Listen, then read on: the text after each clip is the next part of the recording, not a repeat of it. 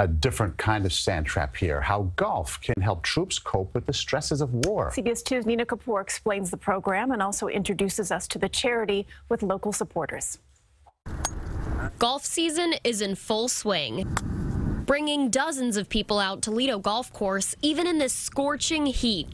But what many don't realize is how the sport is used overseas by the men and women who fight for this country every day. Hitting golf balls has been praised by the troops as a great team exercise and a way to boost morale. But troops don't always have the proper equipment.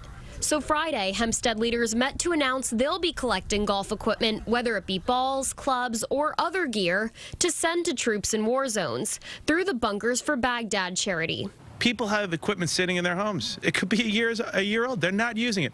This is going to a great cause. It's going to our men and women overseas, giving them a little pleasure while they're serving our country. So far, the not-for-profit Bunkers in Baghdad charity has sent 10 million golf balls and more than 700,000 clubs to Afghanistan and 64 other countries. I served in the United States Marine Corps in Vietnam, and there's times where when you're not trying to get the objective done where you have some downtime and you close your eyes and you think about home. Donations will also include the thousands of stray balls collected each season at the town's two courses. The next time the ball goes where you don't want it to, just leave it. And remember that uh, it's going to be headed uh, to a brave serviceman or servicewoman who's defending this great nation. You can also drop off any golf equipment to either one of Hempstead's golf clubs, Lido or Merrick.